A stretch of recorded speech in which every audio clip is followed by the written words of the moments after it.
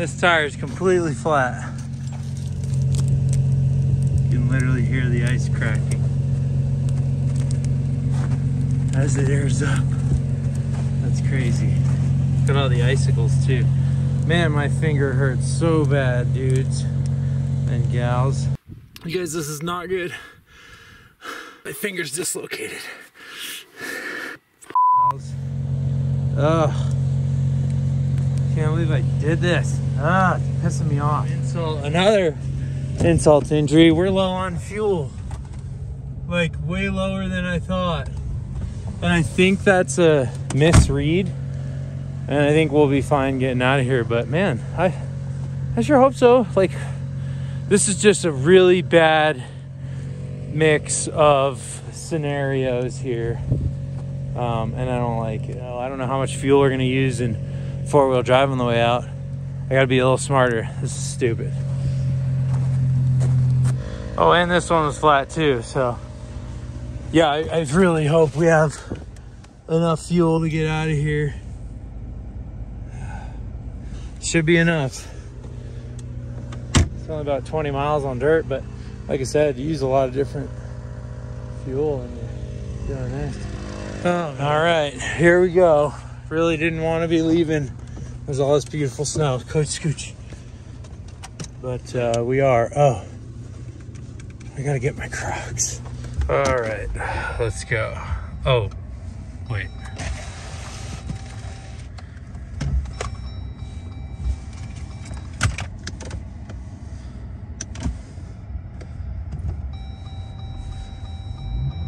What do you mean? Is my truck seriously not working right now? The key fob has not left the vehicle.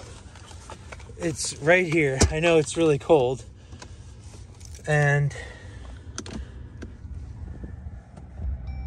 what the heck? Are you kidding me, truck? You're not working because you're too cold. I've had this issue before with the Gladiator. This is unreal right now. There's no way that that's the thing. It was just that I didn't have my seatbelt on. All right, we're good. Ow, my pinky hurts. I can't hold my phone. All right, let's drive out of here. This sucks.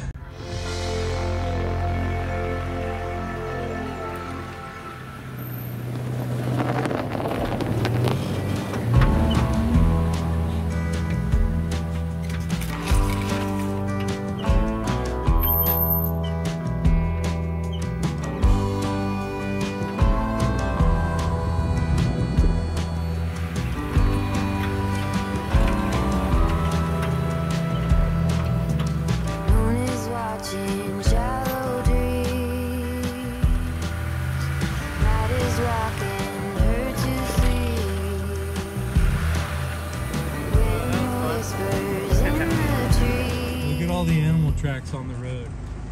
That's cool. That's animal tracks, not us. That's crazy. Well, this is scary. We made it a mile or two. And uh, wait till the light goes. That's how much fuel we have. It just keeps going down fast. Dude, not cool. What is with this? Like, bad. A lot of events. Like, if I were to get stuck right now, Oh my gosh. That would just be a culmination of so many bad things. But luckily, I won't get stuck. But you gotta pay attention, drive good, and conserve gas. This is ridiculous, guys. Why'd you let me do this? Ah. Ah. Ow. Finger hurts, man. All right, we're almost to the pavement, and thankfully our fuel gauge hasn't moved a ton. So we got 27 mile range, the truck says, which is with 10 miles per gallon, which is terrible. Um, and the nearest town 16 miles. So should be able to air up, spend a few minutes idling, and still be able to get there. Silly man, why do I let so many things like come to a like this? Look at that, 16 miles left. We're just pulling up. Oh, they got racing fuel. That'll be All right. Up the rest of our tires. We got the only snow in town, looks like it. And uh, a part of me, well, other than a little over there, but part of me's stoked to be back on the road. Um, even though my pinky's just mangled and it hurts. And it's getting swollen. I hope it's dislocated so that they can put it back in place. Because if it's broken, it'll likely just be bent like this forever. And when I bent it in Revelstoke, like the end of it there, bent it down, that's no big deal. That's just a better grip on the handlebars. This is not a better grip on the handlebars. So I'm referring to a story I have yet to tell from my travels in the summer of 2022 in Revelstoke, British Columbia, when I broke my pinky mountain biking.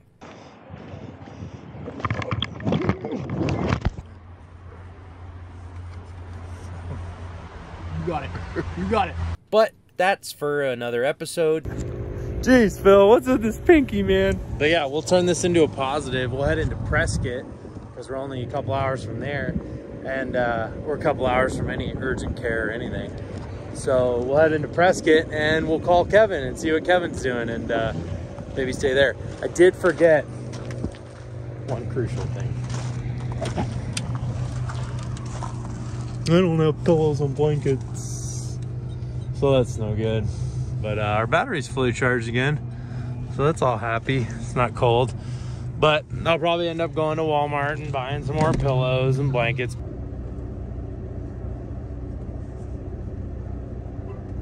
Quick, I just took some snow off of my hood, put it in a bag for my uh, pinky. It's five o'clock. We're 45 minutes from an urgent care that closes at seven. So that should be enough time to get me an x-ray real quick on this pinky of mine. All right, I'm four minutes from urgent care. It's 5.47. I can't do all with one hand. I got invited to dinner with Kevin at 6.30. So hopefully we can get this pinky back in shape in the next 45 minutes and head to dinner with Kevin. I'm kidding, but also not. I'd really, I'm really hungry and I'm dehydrated and I'm cranky and tired. But I'm also happy and just like whatever. Perspective wise, this is just no big deal. It's fine. Just a little finger issue.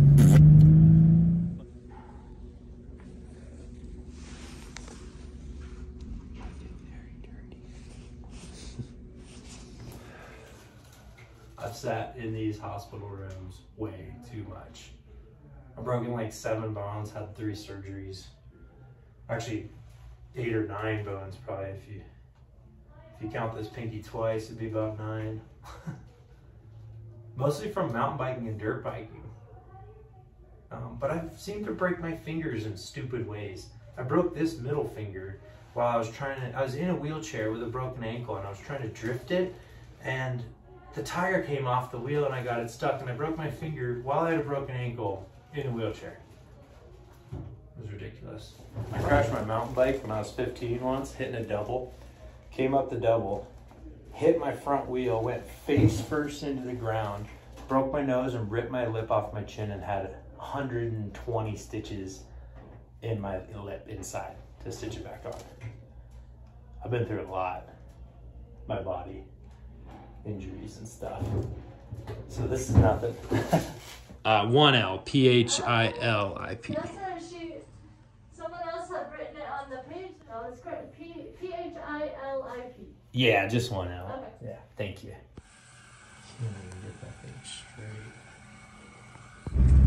Nah, it just looks so cool. Our little driveway here. Pretty cool to drive back in and know that the only tracks in the snow are yours. It's 3 a.m.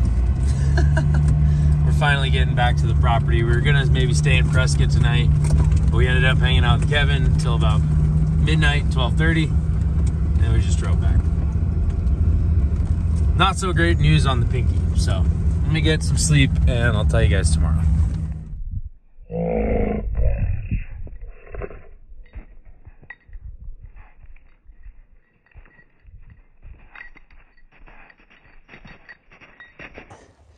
But uh, yeah, what about my pinky? It's really broken. It's like cracked right in half, but like at a diagonal. And he goes, Yeah, it kind of like shifted it like pushed it down and shifted it out. And I was like, oh.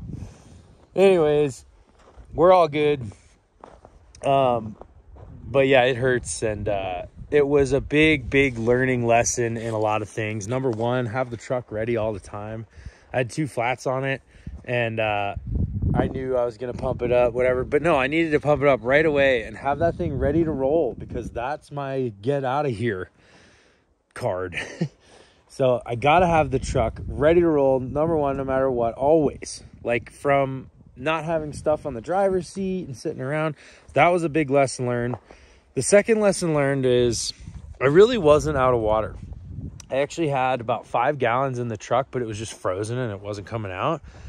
All I needed to do was run the heater in the truck and, and run that for a while. Oh, yeah. Thanks, Charles. Adventure with Roscoe for the hat. I've been digging it. And, um, but anyways, all I had to do was run the heater for a little bit and I would have been fine. I would have been able to get that the water out of there and I would have had plenty of water. So I wouldn't have been freaking out as much about getting firewood because I that would be the only thing. Also, I needed firewood. I should have gathered all the firewood I had, put it by the stove, and really got a sense of exactly how much I have. Same with water. Not like, oh, I just need more, go get more. Because I was in this panic, like, I need more, I need more. But re- the reality was, I could have got through last night with the firewood I had.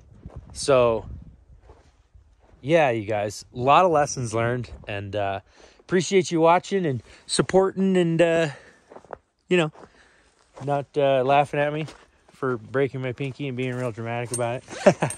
Anyways, we'll see you guys next time. Like, comment, do all the YouTube type stuff, but mainly do your stuff. And really, you know I'm down to mob, but are you down to mob?